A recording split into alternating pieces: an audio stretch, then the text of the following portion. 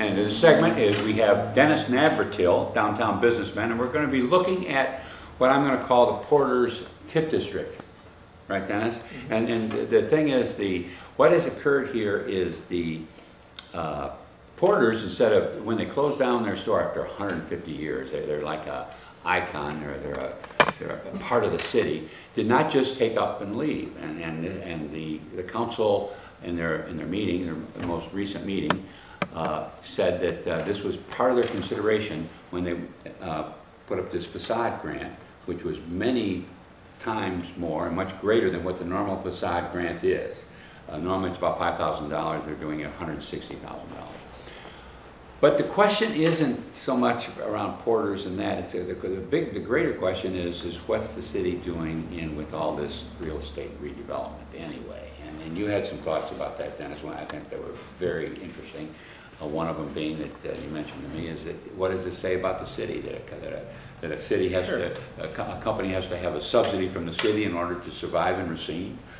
Well, right, I mean, that is, that is one of the signals that's being sent here, is that um, if, I mean, I'm glad that the Porter's folks are reinvesting in their property. Um, But when the city is giving them, I think, one point one million dollars plus a facade grant of 160,000, um, and, and basically making the argument that this development wouldn't happen without this one point four million or whatever it is, one point two five million.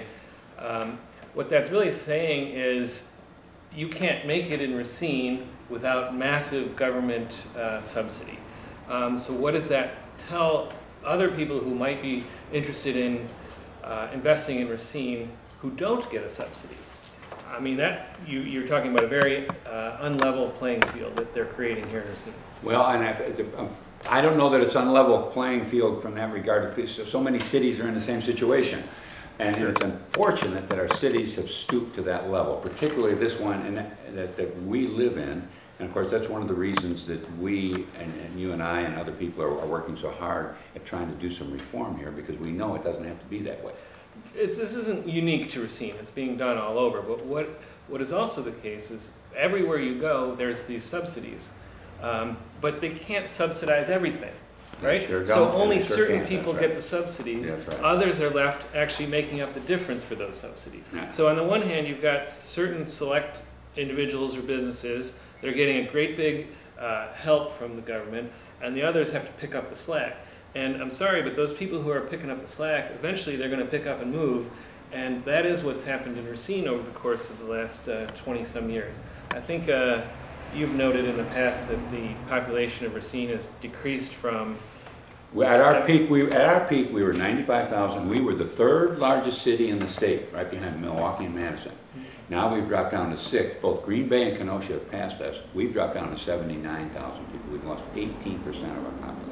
And those are working people, those are, the people on welfare are still sticking around, they don't have to worry about it, the people that left it because they left their jobs, and, and those were our most important people too, our, our workers. so let me ask you something, George. When, when, um, when, so we've got 16,000 people who've left Racine in the last 20 years, right? Right. it's- Or 30 years, whatever it is. Nineteen seventy Uh, 43 years. Yeah. So a lot of people have left. Let me ask you, George, how many of them either left or, or, or passed away?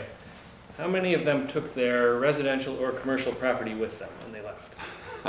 Unfortunately, none of them, they left it, they left it Okay, behind. So it's here, it's still here, right? That's right. So we've got a capacity to um, service the housing and commercial needs for 95,000 people, but A lot of vacant space, There's a lot of vacant space. So we have to ask, is this a wise strategy for the city of Racine to be adding residential and retail space when we have an overcapacity already?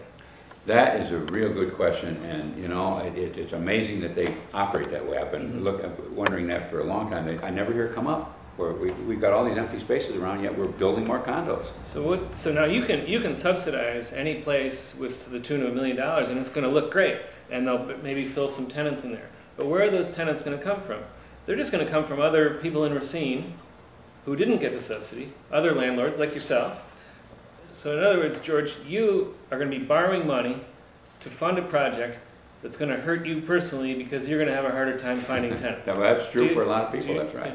So, So it I- I doesn't, think it doesn't, is. it's not a wise, it's not a wise. No, policy. what, what you've done is you've increased the tax base for a lot of people, which makes it even more difficult. And that's why we're continuing to lose population too, by the way, folks. It's not like it stopped at seventy-nine thousand, we're still going down. Mm-hmm. So the, the policies in Racine are, are, are really strange because what they should be doing instead is trying to figure out ways to increase the population, uh, maybe through businesses that hire. Um, and you don't do that by, um, you know, soaking them, borrowing money to, to prop up one or two, um, you know, connected individuals or businesses. I think that's pretty obvious. No, I, I, I- you know, this, this whole TIF district thing is, is ju, it's it's patchwork. And we, we see it, it's not working, but, uh, it, it- it's gonna be up to, I would say it's gonna be up to people like you and me and other, other people that are concerned about it to start speaking out and saying, hey, it's time to cut down. I believe that on taxes and regulations, because that's what makes it more business viable.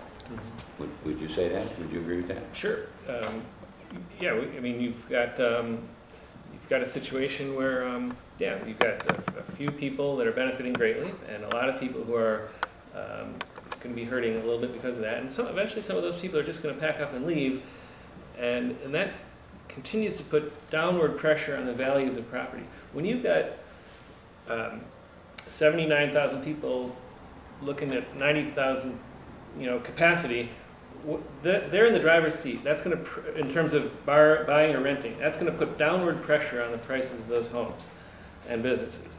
Um, And that's, and that's just going to continue as more and more of those people have to pick up the slack for others. Just real quick, in closing, we only got a cou- a couple Sure. seconds left. Okay. What, what do you see as, as, as overall solution? What, what, what- what, where do we need to go? Well, we need to, we need to get out of the real estate business. Uh, Because one, you, you, we're spending money that we don't have. Uh, We're getting into what should be market-based decisions. Um, We're paying people a lot of money in City Hall to do this, so we're losing money on both ends. We're employing people to do jobs that they shouldn't be doing.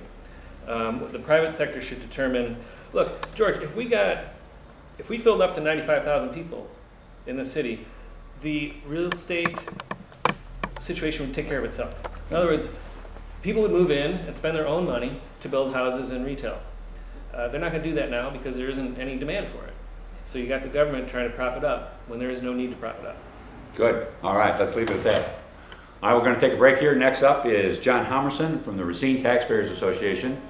And he's going to explain how yo-yos may be causing global warming. Be back in a minute.